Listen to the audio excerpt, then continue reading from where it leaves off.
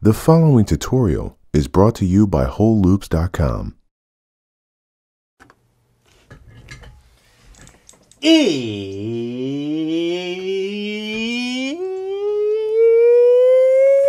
It's production time. I'm Reid Stefan, realist puppet in the game. Today, we're talking about all the sauce in EQ8 and EQ3, the two stock Ableton EQs. The first thing that I would like to EQ is my lead vocal. So the first plugin that I'm going to start with is EQ3. So let's say, for example, lows and highs was what I was trying to get rid of. Thinking back for the game. It was all just a good time for ya. Little puppet with a big dream. Now that sounds pretty cool already. We can control the cutoff point Thinking back for game. It was all just a good time for ya. Little puppet with a big dream. Hey, Got a one way to California.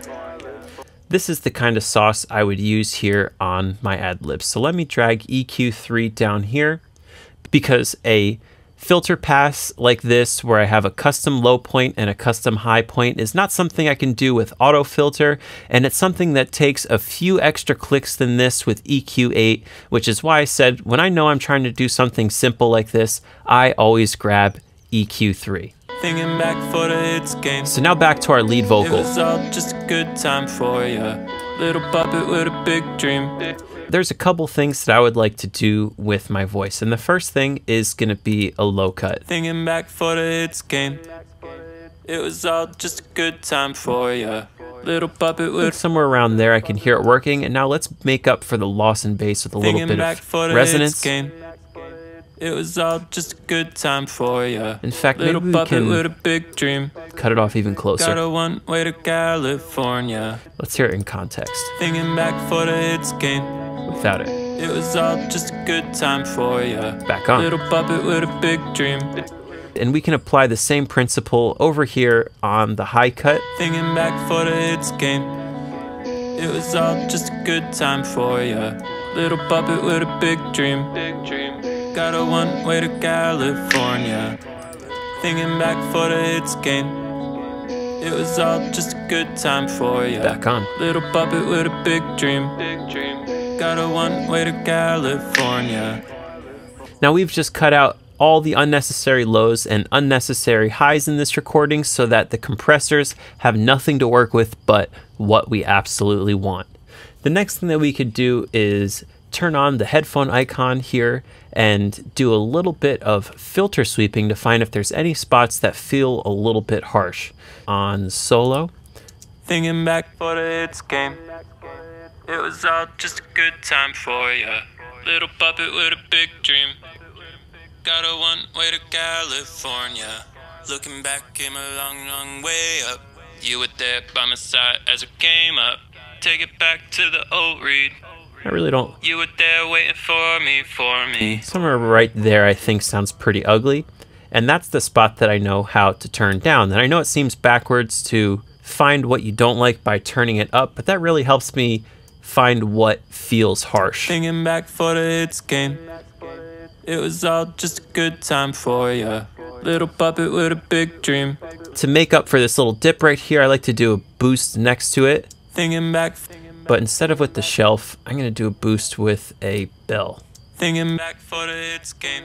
I think it It sounds was all just a good time for ya. pretty nice Little right there. puppet with a big dream. Got a one way to California. Was all just a good time for ya. Little puppet with a big dream. Got a one way to California. click here, turn our frequency on, and let's do one more sweep and see if there's anything else that we don't game. want. It was all just a good time for ya. Little puppet with a big dream. My day one, my day one, my day one. Something right there. Let's turn this one down. I didn't like the way that rang out. Let's hear this with our music. Thinking back for the hits game. It was all just a good time for ya. Little puppet with a big dream. Big dream. Got a one way to California. Are your plucks popping? Have you spent countless hours programming your plucks with no results? Introducing Poppin' Plucks Volume 1, the complete collection of serum presets that will get your plucks so poppin' your song just might pop off. Poppin' Plucks is available now only at wholeloops.com. The next spot that I'd like to do some EQing is on our instruments group. We've got our guitar made out of a stock Ableton Suite guitar. Throughout the last Ableton ABCs uploads, I've sauced these guitars up, so check the links in the description to see how we got everything sounding like this. Here on the group, I'm going to drop an EQ and we're going to focus on how these interact with the vocals in a spot where there's drums too. Thinking back for the hits game. It was all just a good time for ya. We're dealing with a lot of stereo instruments. So I'm going to switch this into mid-side mode and select the M here so that we're EQing the mono part.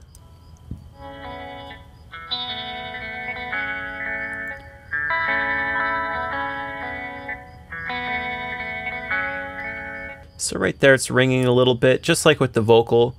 And that's the spot that I'm going to find and dip out. Thinking back for the hits game.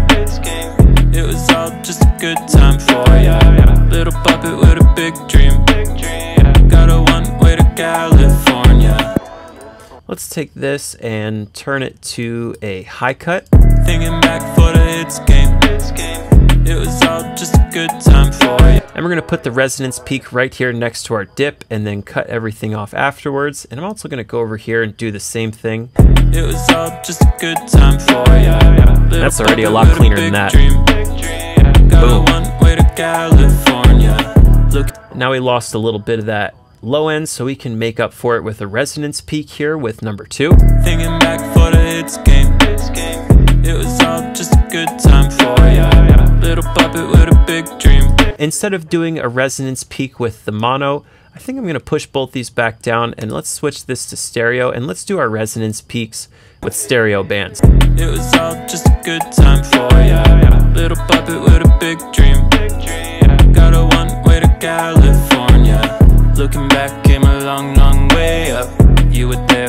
side as up. We can also enable our high pass on here. Thinking back for the hits game. It was all just a good time for ya. And you can always sneak the stereo one a little bit more to the low end just because we're not competing with the mono sub. And now here in scale, we have the option to take what we're doing and do even more of it For the hits game. It was all because we just use this little headphone feature to dial in the sweet spots or we could try and do the opposite of what we were doing. back for the hits game. It was all just a good time for ya. Little puppet with a big dream. Got a one way to California. The last thing that I want to do is a little bit of EQing on all these background vocals. There is a different take pan to the left ear as there is to the right ear, which creates somewhat of a stereo effect, but it's still two takes of the very same sound. So we could really enhance the stereo effect by applying different EQ settings to the left ear and the right ear.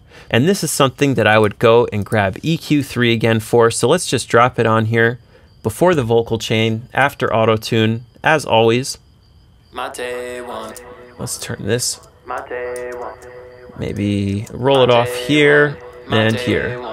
My day one. Day one. So now the left ear of the low background vocal My day one. My day one. is a little bit thinner Day one. Day one. and pushed in the mid ranges, and the left one is left dry. And now we'll go down here, and I'm going to paste this on the right ear. That way we have the effect on the opposite ear here in this stack. And then once again, I'll just paste this down on the left ear, and maybe we'll pick some different numbers for this one. Let's just take a listen to what we're tuning. Oh, so we're doing some high singing. We could do some higher numbers right here. Boom. And now we've created a much wider stereo image just by applying different filter settings to all of our background vocals. My day one. My day one. My day one. Day one. My day one. My day one. My day one. Yeah, yeah. And the final secret saucy hidden treasure here inside of EQ8 is always check out oversampling. It does use a little bit more CPU, Thinking back for the hits game. but it sounds ever so slightly saucier. Thinking back for the hits game. It was all just a good time for ya. Little puppet with a big dream. Got a one way to California. Actually, I'm going to leave oversampling off here on the guitars so that only the vocal is as bright as possible, and this will keep the synths ever so slightly softer. Well, there you have it. That is my complete sauce guide to EQ8 and EQ3. I hope you found all the tips and tricks in this tutorial useful, and if you want to check out the rest of my Ableton ABCs, click the links in the description of any one of these videos, and I'll catch you guys next time with another tutorial. Peace out.